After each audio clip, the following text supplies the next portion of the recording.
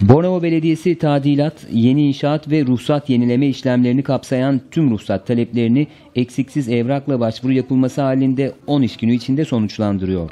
Yapılaşmaya esas imar durumu belgesini eksiksiz evraklarla başvuru yapan vatandaşlara bir iş gününde teslim eden Bornova Belediyesi yönetmelik değişikliği nedeniyle vatandaşların mağdur olmaması için de önlemler aldı. İmar Müdürlüğü'nün yapı ruhsat biriminde hafta sonu da dahil olmak üzere akşam ve gece mesaileri başladı.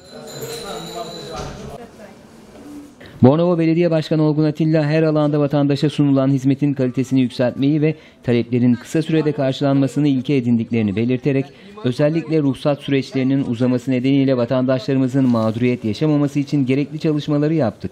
İmar Müdürlüğümüzde imar durumu belgesi ve ruhsat taleplerini kısa sürede karşılayabilecek bir çalışma sistemi oluşturduk. Vatandaşlarımıza daha kısa sürede hizmet sunmanın mutluluğunu yaşıyoruz dedi. Burada zaten mevcut pazar kuruluyor.